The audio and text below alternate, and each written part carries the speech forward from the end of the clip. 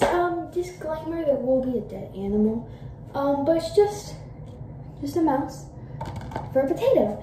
Um, once again, potato is my favorite corn snake, and I'm going to be showing you step by step how to feed your corn snake safely and correctly. So first of all, you're gonna have these. Um, you're gonna put your sink at about as high as it can go. Place the mouse under it. Um, like this. You can kind of like shut the door down, I guess, but. And you're gonna leave it like that for about 15 minutes.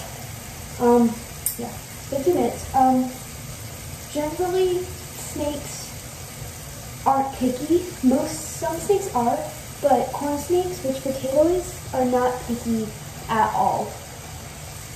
So, um, feeding her is easy, and they'll normally eat anything, but when feeding a snake, you should stick to like one prey item. Um, you can give it um, something occasionally, like I guess a piece of raw turkey on Thanksgiving. Um, so you have to be careful because you don't want it getting addicted to that thing. And next time you try to feed a mouse, it'll want turkeys every time, and you can't always provide that. Um, another thing to watch out for when feeding your snake, um, this one's just kind of more of a heads up. Um, when you're feeding your snake, don't leave the mouse unattended because uh, like the water will rise and you don't want the mouse overflowing out of the container. That'd just be gross. Um, but yes, anyway, sorry. Yeah, that's another thing to watch out for. Um, snakes. The mouse, depending on the size, about the size I showed you, I usually keep it under water for about 15 minutes and then I let it dry for like a minute or two.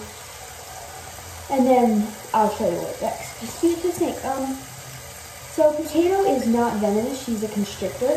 So they'll grab a snake and squeeze it. Uh, I can show you that if she'll let me. Yes, so, um, yeah, so I'm gonna let this thaw. Um, so yeah, I'll see you guys when it's done Be thawing. I have the mouse for Potato, so let's go feed her. Okay, so when you feed, ignore my messy room. Um, guys, I'm back and I have Potato's mouse. And today well, I already said, but we're gonna feed her now. So first I turn off her heat lamp and I put it down. Um, I should take off her, um, that's her skin. That sounded so long.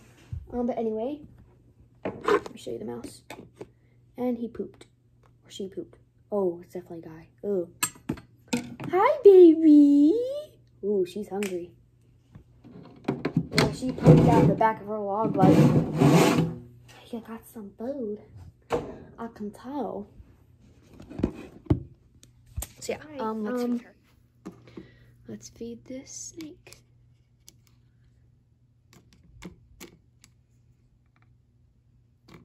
Ooh! Oh my god. Why can't I grab the freaking mouse? There we go. You see her? Sorry for that.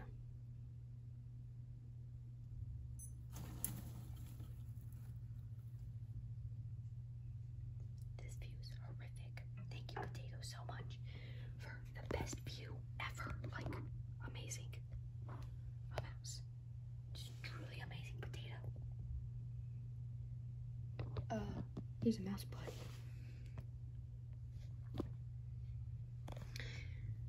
She's still suffocating it, my guess is. Where she's squeezing it.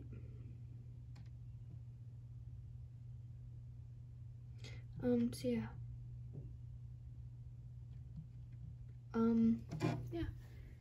So, this is how snakes, uh, sorry, that's much better. Sorry about before. So this is how snakes, that's how they will eat. Um, potato, she takes, she has no problem when she's eating. Um, she'll eat the mouse very quickly, as you saw.